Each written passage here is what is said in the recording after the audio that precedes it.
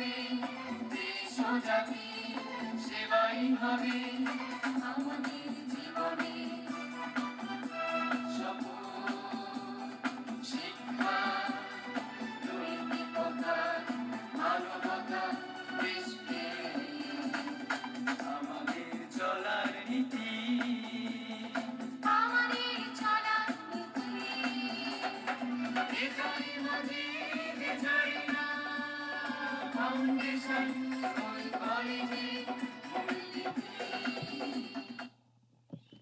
সুপ্রিয় শিক্ষার্থীরা, আসসালামু আলাইকুম। আশা করি তোমরা সবাই ভালো আছো। আজকের অনলাইন ক্লাস অনলাইন ক্লাসে সকলকে স্বাগতম। ক্লাসের শুরুতেই শিক্ষক পরিচিতি। আমি মোহাম্মদ রবিউল ইসলাম, প্রভাষক, হিসাব বিজ্ঞান বিভাগ মজিজরিনা foundation, school and college Naria, Shariatpur. সুপ্রিয় শিক্ষার্থীরা আজকে ক্লাস দশম শ্রেণির শিক্ষার্থীদের জন্য হিসাব বিজ্ঞান, হিসাব বিজ্ঞানের পঞ্চম অধ্যায়। পঞ্চম অধ্যায়ের তোমাদের যে ক্লাসটি নেব, এই ক্লাসটি একটি অতি গুরুত্বপূর্ণ হিসাব লেনদেন ব্যবসায় আর্থিক অবস্থার পরিবর্তন ঘটায়। লেনদেনের ফলে অর্থের প্রাপ্তি যেমন ঘটতে পারে, তেমনি প্রদানও ঘটতে পারে। আবার কোনো লেনদেনের ফলে আয় ব্যয়ের হ্রাস বৃদ্ধি ঘটতে পারে। একইভাবে সম্পদ হ্রাস ঘটতে পারে। বিভিন্ন প্রকৃতির সংখ্যা, আয়, ব্যয়, সম্পদ, দায়, ব্যবসা প্রতিষ্ঠানের বিদ্যমান।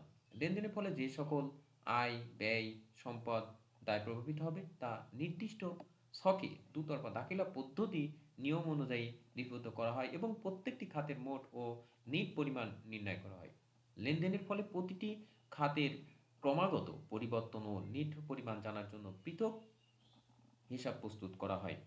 এই হিসাব প্রস্তুত করার জন্য এই অধ্যায়ের হিসাবে ধারণা, হিসাবের বৈশিষ্ট্য, হিসাবের বিভিন্ন প্রকার শখ টি শখ এবং চলমান যে শখ প্রস্তুত করা, হিসাব সমীকরণের অনুযায়ী হিসাবের শ্রেণীবিভাগ এবং দুতরফা দাখিলা পদ্ধতি অনুযায়ী ডেবিট ক্রেডিট লিপিবদ্ধকরণ করতে পারবে এই অধ্যায় থেকে। এই শিখন ফলগুলো তোমরা শিখতে পারবে। তো টি শখ মূলত হিসাব এর প্রাচীন ছক, এই ছকে ডেবিট এবং ক্রেডিট দুইটি অংশে বিভক্ত। ডেবিট দিকে চারটি কলাম এবং ক্রেডিট দিকে চারটি কলাম। মোট আটটি ঘর। চলমান যে ছক যেটি আধুনিক ছক নামে পরিচিত তারিখ বিবরণ যাবতীয় পৃষ্ঠা ডেবিটটা ক্রেডিটটাকে এবং উদ্বৃত্ত বা জের দুটি ডেবিট এবং ক্রেডিট জের যে কোনো সময় প্রকাশ পাবে। তো হিসাবের ধারণা, হিসাব বিজ্ঞান উন্নত প্রধান উদ্দেশ্য আর্থিক ফলাফল ও আর্থিক অবস্থা নিরূপণ করা। এই উদ্দেশ্যে অর্জনের জন্য লেনদেন সমূহ সুষ্ঠু সুশৃঙ্খলভাবে লিপিবদ্ধ করা জরুরি। লেনদেনের ফলে সম্পদ, দায়, আয়, ব্যয়, মালিকানা সত্ত্বের ক্রমাগত হ্রাস বৃদ্ধি ঘটে। প্রতিটি হিসাবের ক্রমাগত হ্রাস বৃদ্ধি এবং নির্দিষ্ট সময় অন্তর প্রতিটি হিসাবের নিট পরিমাণ জানা প্রয়োজন। যেমন একটি ঘটনা মাহিটেটার দুই হাজার সতেরো সালে মার্চ মাসে পণ্য বিক্রয় করে পনেরো হাজার টাকা পুরাতন আসবাবপত্র বিক্রয় করে তিন হাজার টাকা এবং ব্যাংক হতে পাঁচ হাজার টাকা ঋণ গ্রহণ করে। উক্ত মাসে বাড়ি ভাড়া বাবদ আট হাজার টাকা, গ্যাস ও বিদ্যুৎ বিল বাবদ ছয় হাজার টাকা, যাতায়াত বাবদ তিন হাজার পাঁচশো টাকা এবং কর্মচারী বেতন বাবদ দুই হাজার টাকা ব্যয় করেছে। তো এক্ষেত্রে ঘটনাটি মোট প্রাপ্তি পনেরো হাজার, তিন হাজার এবং পাঁচ হাজার। মোট তেইশ হাজার টাকা হয় আর মোট প্রদান হচ্ছে আট হাজার টাকা, ছয় হাজার টাকা, তিন হাজার পাঁচশো এবং দুই হাজার টাকা, অর্থাৎ উনিশ হাজার পাঁচশো টাকা।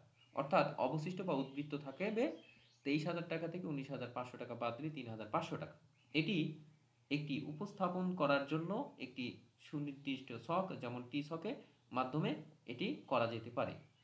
তো প্রাপ্তি এবং প্রদানের পার্থক্য দাঁড়ায় তিন হাজার পাঁচশো টাকা। এক্ষেত্রে টি ছকের বৈশিষ্ট্য। দুটি হিসাবের, দুটি ছকে হিসাবের শিরোনাম থাকবে। টি ছকের ডেবিট এবং ক্রেডিট দুটি অংশ বিভক্ত থাকবে, হিসাবের কোড নম্বর থাকবে। উভয় অংশে টি ছকে উভয় অংশে চারটি করে মোট আটটি কলাম থাকবে। তারিখ, বিবরণ, যাবতীয় পৃষ্ঠা, কলাম থাকবে।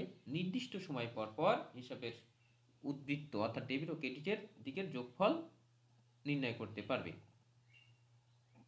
তো সুপ্রিয় শিক্ষার্থীরা ডেবিট ক্রেডিটের নির্ণয়ের জন্য এই অর্থাৎ খতিয়ান করার ক্ষেত্রেও এই দুইটি ছকই বহুল প্রচলিত। তো তারপরে হিসাবের শ্রেণীভাগ হিসাব সমীকরণের ভিত্তিতে হিসাবকে পাঁচ ভাগে ভাগ করা হয়। সম্পদ, দায়, মালিকানা সত্ত্ব রেভিনিউ বা আয় আর একটা হচ্ছে ব্যয়। এই পাঁচ শ্রেণীতে হিসাবকে শ্রেণি বিভাগ বিভক্ত করা হয়ে থাকে। তো ওই হিসাব ও লেনদেনের সঙ্গে সংশ্লিষ্টতা বা সম্পর্ক।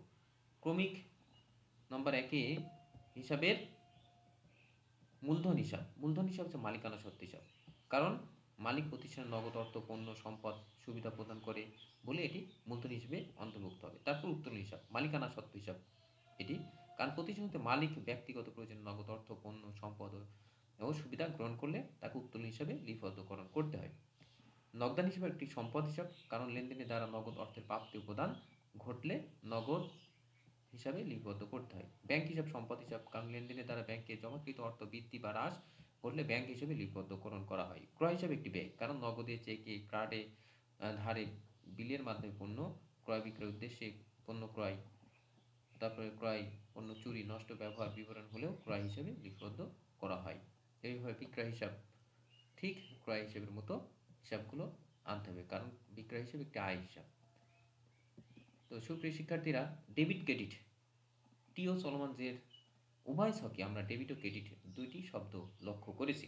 ডেবিট ও ক্রেডিট নির্ধারিত, নির্ধারণ ব্যতীত হিসাব প্রস্তুত সম্ভব নয়। তাই পাঠের এই অংশে বিভিন্ন শ্রেণির হিসাবে ডেবিট ও ক্রেডিট নির্ণয় নীতি ব্যাখ্যা করা হলো। কোন হিসাবে বাম দিককে ডেবিট এবং ডান দিককে ক্রেডিট নামে আখ্যায়িত করা হয়েছে। শব্দ দুটি হিসাবকে নির্দেশনা প্রদান করে।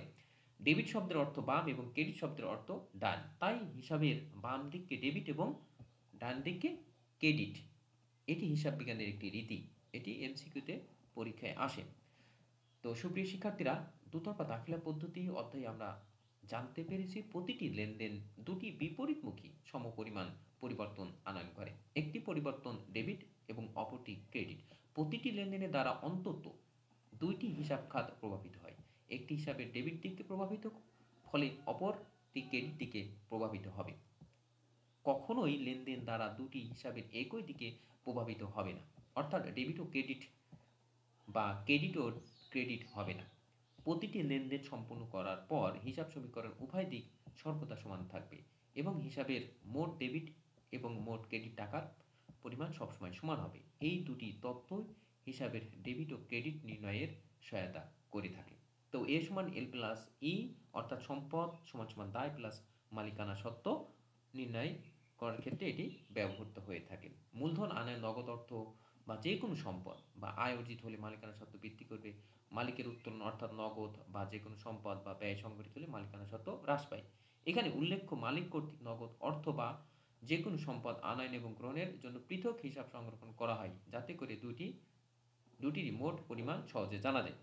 তো ডেবিট ক্রেডিটের নির্ণয়ের সার সংক্ষেপে ডেবিট অর্থাৎ সম্পদ বৃদ্ধি পেলে, দায় হ্রাস পেলে মালিকানা সত্ত্ব হ্রাস পেলে, আয় বা ব্যয়, আয় হ্রাস পেলে এবং ব্যয় বৃদ্ধি পেলে ডেবিটে অর্থাৎ সম্পদ এবং ব্যয় বৃদ্ধি পেলে ডেবিট হবে, আর দায় মালিকানা সত্ত্ব আয় যদি হ্রাস পায় তাহলে ক্রেডিট হবে। ঠিক ক্রেডিটের ক্ষেত্রে সম্পদ আর ব্যয় হ্রাস পেলে ক্রেডিট হবে, আর দায় মালিকানা সত্ত্ব এবং আয় বৃদ্ধি পেলে ক্রেডিটই থাকবে।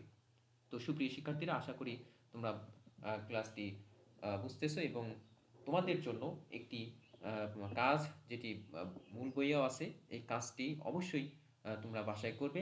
এখানে একটি ছক উল্লেখ করে দেওয়া আছে। এই ছক এর মাধ্যমে যেভাবে দেওয়া আছে, ঠিক এইভাবে কাজটি তোমাদেরকে করতে হবে। অর্থাৎ এখানে প্রথমটি করে দিয়ে আছে আসবাবপত্র মালিক কর্তৃক আসবাবপত্র আনয়ন করেছে। অর্থাৎ আসবাবপত্র হিসাব, ডেবিট, দুইটি পক্ষের মধ্যে, মূলধন হিসাব, ক্রেডিট হিসাবের শ্রেণি আসবাবপত্র সম্পদ আর মূলধন হচ্ছে মালিকানা সত্ত্ব তো আসবাবপত্র ডেবিট আর মূলধন হিসাব ক্রেডিট, টাকা পাঁচ হাজার পাঁচ হাজার আর আসবাবপত্র সম্পদ, এটা ডেবিট হওয়ার কারণ হচ্ছে সম্পদ বৃদ্ধি পেয়েছে আর মূলধন মালিকানা সত্ত্বে বৃদ্ধি হয়েছে, তাই এটি ক্রেডিট হয়েছিল। তো সুপ্রিয় শিক্ষার্থীরা, আশা করি তোমরা ভালো থাকবে এবং অবশ্যই কাজটি করবে এবং যখন ক্লাস সশরীরে হবে তখন অবশ্যই আমি কাজটি তোমাদের কাছ থেকে বুঝিয়ে নেব। তো সবাইকে ধন্যবাদ। আসসালামু আলাইকুম।